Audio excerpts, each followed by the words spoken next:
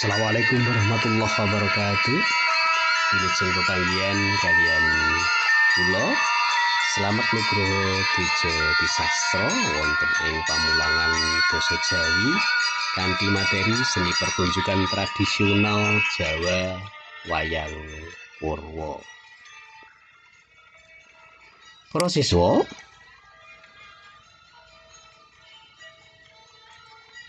wonten ing pertunjukan tradisional Jawa wonten ing dikalikan menika badhe karembak ya menika babagan wayang Purwa.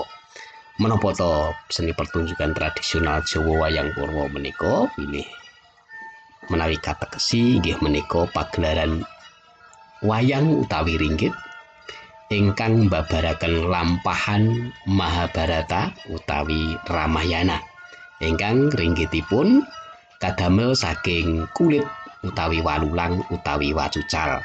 Lan kaentra-entra kados dene gegambaraning manungsa utawi karikatur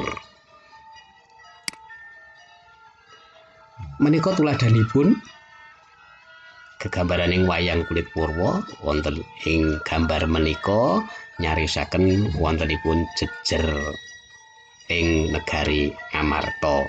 Menika wonten paraga Yudhistira Prabu Yudhistira kalian para rayi-rayinipun Werkudara lajeng wonten Janaka Nakula Sadewa lajeng wonten sederekipun ingkang nama Sri Bathara Kresna lajeng Raden Setyaki wonten menika Punakawan menika namanipun Petruk Kantong Bolong nggih menika gegambaranipun pagelaran ringgit wacucal. Ingkang salajengipun para siswa kula ajak ngrembak babagan pirantos utawi ubo rampe lan jejangkepipun pagelaran wayang purwa. Wayang purwa saged lumampah menawi wonten ubo rampe pirantos lan jejangkepipun. Ingkang sepisan inggih menika kelir utawi geber. Nah, menika kelir utawi geber menika kadamel saking bahan tekstil ingkang werninipun pethak. Warni pethak menika lajeng dipun plipit kanthi warni abrit utawi cemeng. Nah, tuladanipun wonten ing mriki warninipun cemeng nggih ingkang kangge mlipit. Lajeng panjangipun wonten watawis kalih welas meter lan wiyaripun wonten setunggal setengah dumugi ing kalih meter. Kelir utawi geber menika mralambangaken langit angkasa tumrapipun cariyos ringgit menika mangke. Ingkang salajengipun menika pirantos ingkang angka kalih inggih menika blencong. Blencong menika utawi sinebut suluh nggih. Cara kinanipun sinebut suluh. Lah Blencong kala wau utawi suluh menika wonten lebetipun wonten kapuk lajeng kaparingan minyak kelapa utawi lenga klentik.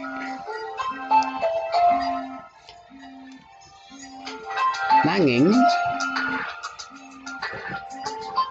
sak menika blencong lajeng dipun gantos mawi lampu bolam ingkang kanthi ukuran kalih atus watt. Blincong min, min menika minangka pralambang surya utawi srengenge utawi menawi cariyos menika wanci dalu menika meralambangaken rembulan lan lintang. Pirantos ingkang angka 3 nggih debok. Debok menika kapendhet saking wit pisang utawi papan kangge ingkang dipun ginakaken kangge nancepaken wayang. Nah, tebok menika minangka pralambang bumi utawi bantala. Menika wujuding tebok ingkang dereng dipun ginakaken lajeng wonten ing mriki wonten tuladha gambar ingkang tebok ingkang sampun dipun tancepi wayang. Menika wujudipun nggih tebok. minangka pralambang menika bumi utawi bantala ingkang dipun pidak dening si wayang. Ingkang salajengipun pirantos ingkang baken inggih menika wayangipun nggih wayangipun piranti baken ingkang kadamel saking lulang ingkang dipun tatah lulang ingkang tinatah lan sinungging utawi dipun gambar manut dhateng lakonipun. Minangka pralambang para titah utawi manungsa. Menika gambaranipun nggih wayang-wayangipun menika. Wonten ing mriki wonten Semar, Gareng, Petro, Bagong lajeng menika. Ingkang dipun dereki bendaranipun menika Raden Angkawijaya utawi Raden Abimanyu. Lajeng menika tulodo ingkang piyambak menika Petruk Kantong Bolong. Pirantos ingkang angka gangsal inggih menika gunungan utawi kayon. Gunungan utawi kayon menika ugi kadamel saking walulang utawi kulit sami kalian wayangipun kulit ingkang asring kaginakaken kangge wayang lan gunungan menika saking kulit lembu utawi sapi utawi kulit kebu para siswa pirantos ingkang angka 6 inggih menika kotak minangka wadah wayang Kotak minangka wadahing wayang menika minangka pralambang sangkan paraning dumadi. Pralambang asal usulipun manungsa lan kados pundi mangke manungsa menika sak sampunipun seda tumuju dhateng pundi. Mila wonten ing mriki dipun gambaraken menawi wayang menika mangke saderengipun dipun lampahaken wonten salebetipun kotak menika lajeng menawi sam dipun lampahaken wonten ing sak ngajenging kelir lajeng menawi mangkih dipun cariyosaken menika tokoh menika seda utawi mati menika mlebet wonten ing kotak malih. Kotak kadamel saking kajeng utawi kayu. Panjangipun sangang doso cm utawi 107 doso cm kanthi wiyar wolung doso gangsal cm Dene kandelipun kotak menika kalih welas dumugi gangsal cm. Pirantos ingkang angka pitu nggih menika cempala. Cempala menika wonten werni kalih, cempala asta kalian cempala suku. Cempala asta menika cempala ingkang dipun cepengi kanthi asta utawi tangan. Menika kedadosan saking kajeng utawi kayu ingkang agengipun watawis sak tunggal sak prosekawan kilan. Ginanipun kangge ndodhok kotak paring sasmita tumrapipun wayang. Para nggih. Tumrapipun para niyaga supados anggenipun gending menika nut dhateng menapa ingkang dados kersanipun si dalang minangka pralambang keteking jantung utawi manungsa. Ugi minangka pratandha menika ewahipun pangandikan utawi pacelaton antawisipun paraga setunggalan sanesipun lan ugi kanthi kangge ngiringi swasana mimbui swasana. Umaminipun wonten swasana suluk Harikata sang katut kaca kinon mapakaraga suta. Menika kangge ngiringi dada lajeng menawi kangge ngiringi pacelaton. Pamanaryo paman pakenira menapa mboya kaget manira pijene ngarasaning pakenira nuwun wonten dawuh pangandika de Kanjeng Sinuwun Prabu dene sinuwun nimbali dhateng ingkang paman saking plasa jenar. Dados para siswa cempala utawi dodokan kotak menika kangge pratandha sae menika pratandha tumrapipun yoga lan pratandha kangge kantosipun pirembagan. Ingkang salajengipun menika ugi wonten cempala suku. Menika ginanipun sami kalian cempala asta kala wau. Namung swantenipun ingkang beda. Menawi cempala asta menika dipun cepeng wonten ing asta dipun cepeng wonten ing tangan. Nanging menawi cempala suku menika dipun jepit kanthi jempol suku. Menika kangge nutuk keprak. Lah keprak menika kados menapa? Keprak menika kados menika nggih. Blebekan wesi utawi perunggu. Terus cempala suku kala wau dipun plipit kanthi jempol suku kala wau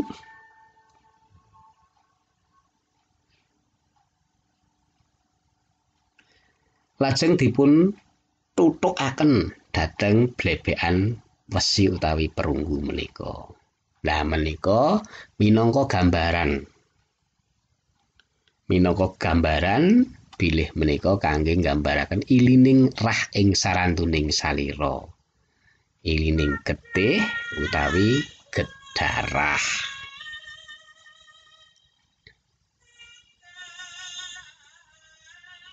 Para siswa pundi dunungipun Cempala Asta nggih wonten ngriki dipun cepeng dening dalang lajeng Cempala suku wonten ing ing sukunipun utawi wonten sikilipun dipun cepet kanthi jempolipun. Nah, blebekan wesi menika dipun gandulaken wonten ing sak pinggiripun kotak menika. Ingkang salajengipun menika gamelan. Gamelan ugi dipun wastani gongso.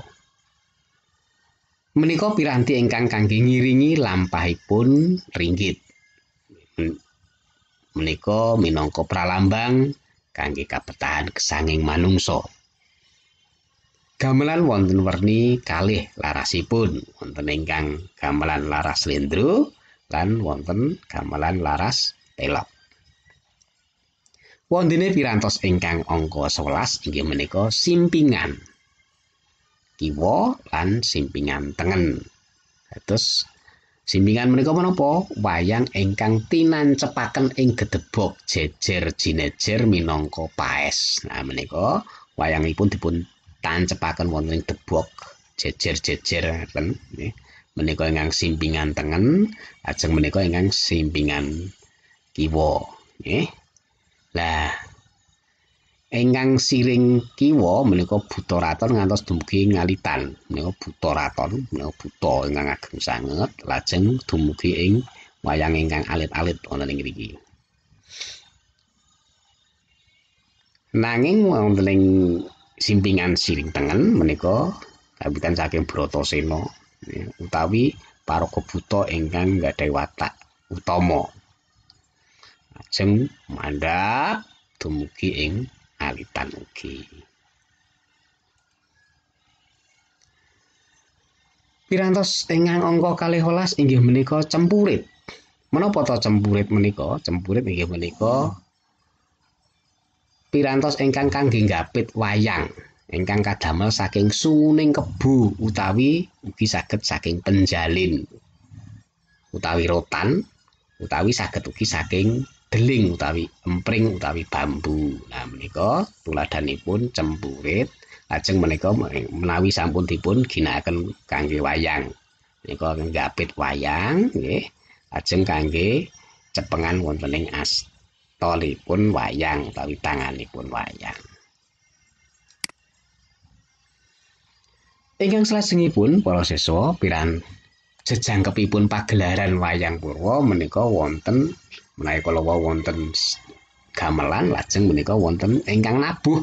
Inggih menika niyaga utawi wiyaga. Wonten ingkang mastani niyaga wonten ingkang mastani wiyaga. Lan pesinden. Nah menika pesindenipun. Nggih. Tukang nabuh gamelan. Nggih menika niyaga utawi wiyaga. Ingkang cacahipun watawis kalih welas dumugi gangsal welas tiyang utawi langkung nderek kabetahanipun menawi sak menika dalang-dalang ingkang sampun sami kondang menika cacahipun niaga wonten watawis selangkungan ngantos dumugi tigang dosa tiyang Wondene pesinden utawi waranggana menika ingkang laras tetembangan dados ingkang nembang wonten ing pagelaran wayang menika namanipun pesinden. Ingkang salajengipun tentu kemawon ingkang bahkan estu nggih menika ingkang nglampahaken ringgit utawi wayang. Ingkang sinebut dalang. Nggih, ingkang sinebut dalang menika ingkang nglampahaken pagelaran wayang. Para siswa, sasampunipun mangertos babagan pirantos uburampe lan jejangkepipun pagelaran ringgit utawi wayang. Kula panjenengan sak menika sinau babagan kados pundi pagelaran wayang menika menawi dipun gelar kanthi wekdal sedalu natas. Semalam suntuk. Nah, wektalipun dipun ponto wonten tiga inggih menika sepisan menika patet 6 utawi wonten ingkang nyebat patet lasem. Nggih menika dipun wiwiti saking watawis jam songo dalu dumugi jam kalih welas dalu utawi jam selikur dumugi jam sekawan likur. Wonten ing jam sekawan likur utawi tengah ratri menika mlebet wonten ing patet songo. Menika mangke dipun wiwiti jam kalih welas dumugi jam 3. Menawi kala wau wonten ing patet 6 menika dipun pratandani kanthi gunungan ingkang miring mangiwa. Lajeng wonten ing patet sanga mangke dipun paringi pratandha gunungan ingkang jejeg. Gunungan ingkang jejeg. Lan mangke dumugi ing jam 3 enjang menika gunungan miring manengen. Menika meratandani sampun mlebet wonten ing patet manyura. Kenging menapa kok patet manyura?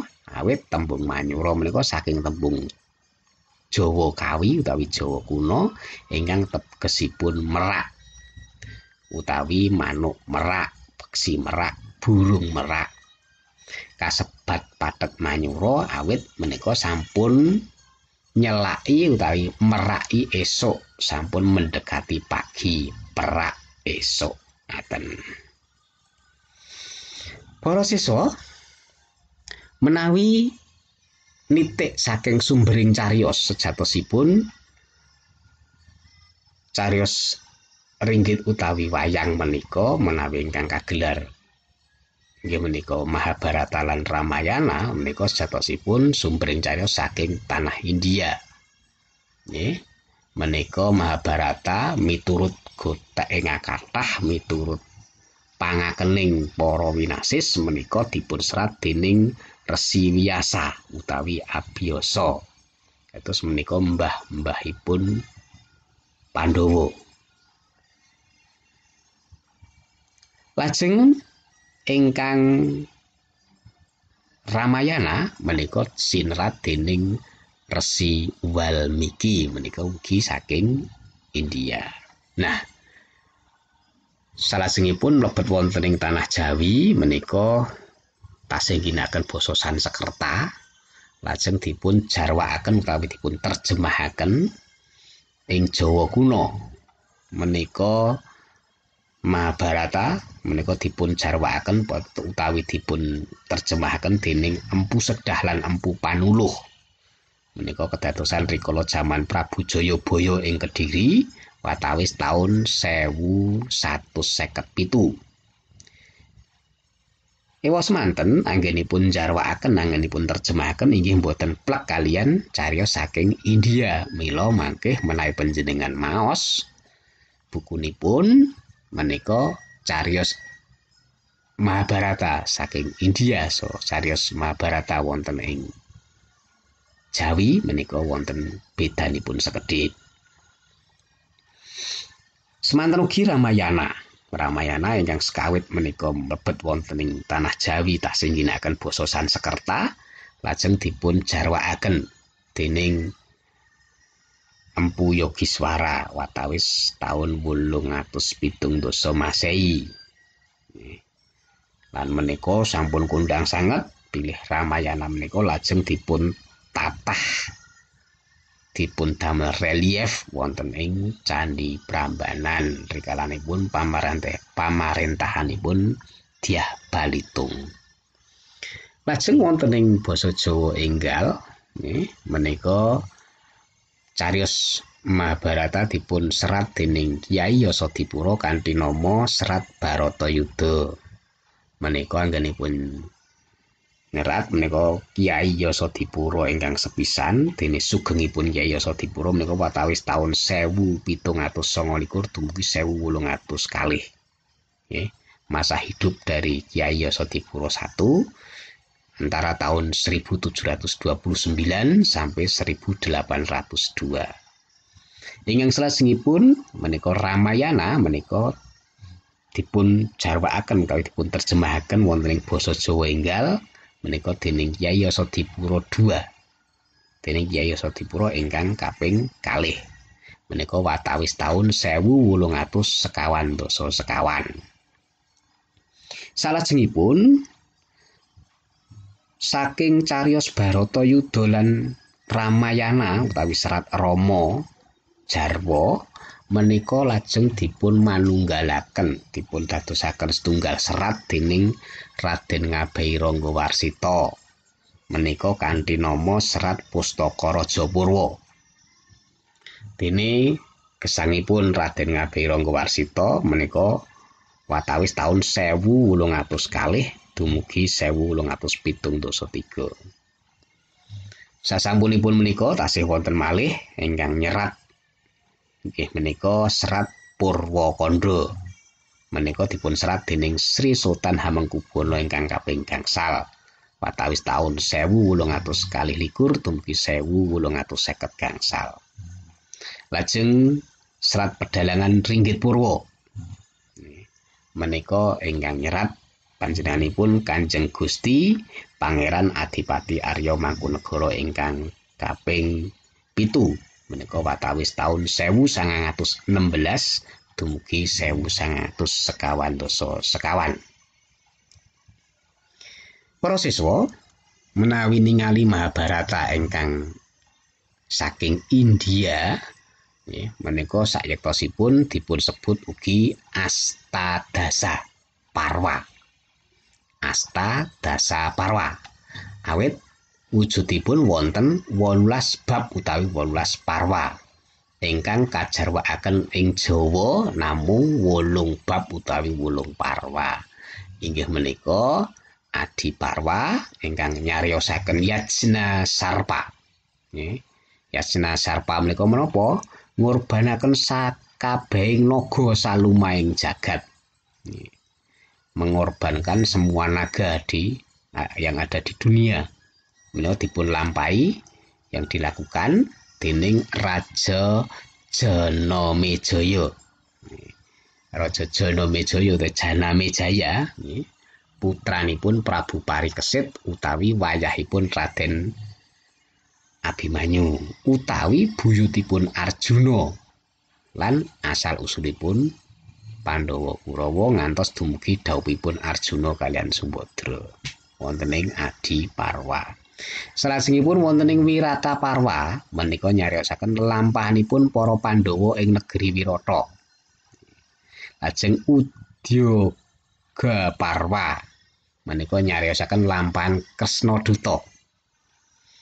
Bisma Parwa nyariosaken jumenengipun Resi Bisma minangka senopati perang Kurawa. Lan wonten ing ngriku wonten piwulang suci ingkang asring dipun ginakaken dening kadang-kadang ingkang raso agami Hindu inggih menika Bhagavad Gita. Menika wonten ing Bisma Parwa. Lajeng asrama Wasaparwa nyariosaken lampahan saksampunipun perang Baratayuda. Musala Parwa menika nyariosaken lampahan sirnaning bangsa Yadu menika bangsanipun Prabu Kresna. Ingkang salajengipun menika Prastanika Parwa. ingkang nyariosaken jumenengipun parikesit minangka ratu ing negeri Ngastina. Lajeng swarga Rohana Parwa menika nyarisaken sedanipun para Pandhawa lan kawontenan ing jaman kalanggengan. Para siswa kala wau Mahabharata. Lajeng kados pundi Ramayana? Menawi Ramayana ingkang saking India menika wonten pitung kanda. Utawi bab ki antawisipun inggih menika balakanda. Ingkang nyariosaken lampahipun Prabu Dasarata. Lajeng Ayodhya kanda. Nyariosaken lampahan alitipun Rama ngantos sayembara Sinta lan dawuhipun Rama kalian Sinta.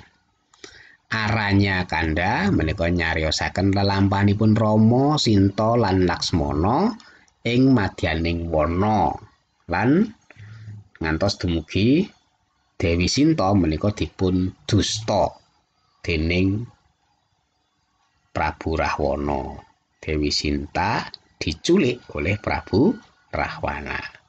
Lajeng Kiskenda Kiskendaya Kanda menika nyariosaken lelampahanipun Subali lan Sugriwa. Lajeng Sundara Kanda menika nyarisaken lampahan Rama Tambak lan cariyos Anoman Obong. Yuda Kanda menika nyarisaken lampahan perang antawisipun Rama lan Rahwana utawi Dasamuka. Lajeng ingkang pungkasan menika Utara Kanda menika nyarisaken lampahan sasampunipun perang lan menika wonten ing mriki dipun cariyosaken wontenipun Sinta Obong. Para siswa, salajengipun wonten ing cariyos-cariyos kala wau kanyata wonten paraga ingkang tansah wonten sae menika wonten ing Ramayana lan wonten ing Mahabharata. Sinten menika? Inggih menika Bathara Wisnu. Wonten ing cariyos Ramayana lan Mahabharata, Bathara Wisnu menika tansah nitis dhateng satunggalipun paraga utawi tokoh. Nggih wonten ing cariyos Mahabharata Bathara Wisnu menika gambaranipun Bathara Wisnu. Bathara Wisnu menika nyawiji wonten angganipun Prabu Kresna. Terus Bathara Wisnu wonten ing cariyos Mahabharata nyawiji wonten ing angganipun Prabu Kresna utawi Krishna.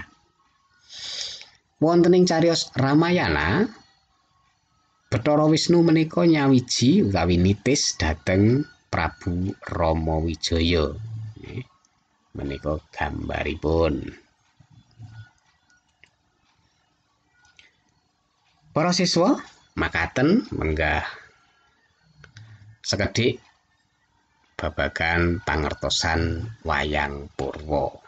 Nah, lajeng sakmenika kangge para siswa wonten jejiban utawi tugas kangge panjenengan sedaya. Tugasipun menapa? Setunggal. Kapadosana bedanipun wujuding wayang gagrak Ngayogyakarta lan gagrak Surakarta. Carilah perbedaan bentuk wayang gaya Yogyakarta dan gaya Surakarta. Para siswa saged pados kanthi browsing ing internet utawi pados saking buku-buku ingkang saged kapanggihaken. Buku paket basa Jawa maminipun menika saged kapanggihaken wonten ing perpustakaan. Langkung prayogi menawi kawimbuhan gambar.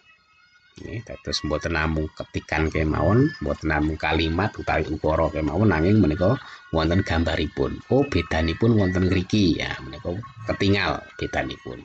Nggih. Para siswa nih dipersilahkan untuk browsing atau mencari buku yang ada. Menika basa Indonesia nipun ingkang boten mangertos. Tugas kala dipun ketik wonten MS Word. Lajeng dipun upload ing Google Drive. Google Drive pun sinten? Nika kula nyuwun Google Drive saben kelas menika damel account piyambak nggih akun Google piyambak Gmail lajeng mangke saben kelas menika nggadahi akun Google kangge saben kelas setiap kelas sak sampunipun menika wonten ing Google Drive pun menika tugas dipun kelempakaken format drive ingkang panjenengan damel kala wau mestinipun ingkang damel menika pengurus kelasipun dipun damel supados tiang sanes saged mengakses yang eh, di situ ada pilihan orang lain dapat mengakses, dapat mengedit, silahkan itu dipilih. Lajeng linkipun mangke dipun kirimaken dhateng kula via WA. Nggih. Makaten para siswa, lajeng ampun kesupen pepanggihan candhaipun nggih, minjang minggu ngajeng menika ulangan harian kanthi materi seni pertunjukan tradisional Jawa ingkang sampun dipun sinau minggu kapengker lan menika kala wau. Salajengipun matur nuwun katur dhateng para siswa. Awit saking kawigatosanipun lan ing mangke kasuwun panjenengan kangge ningali panjenengan nderek kelas menika menapa mboten panjenengan kasuwun ngisi presensi lan panjenengan ingkang dereng subscribe. Video ini pun kasuwun subscribe. Lajeng komen boten namung ketang panjenengan maringi say hello kula sampun wonten Pak. Kula nyimak Pak umpamipun ngaten menika kangge nitik panjenengan derek kelas kula menapa mboten. Nggih monggo. Menika mangke katindakaken dene ingkang boten nindakaken mangke tentu kemon bijimpun boten badhe sami kalian ingkang nyemak. Makaten matur nuwun mugi Gusti tansah berkahi dhateng kula panjenengan sedaya Assalamualaikum warahmatullahi wabarakatuh. Nuwun, nuwun, nuwun.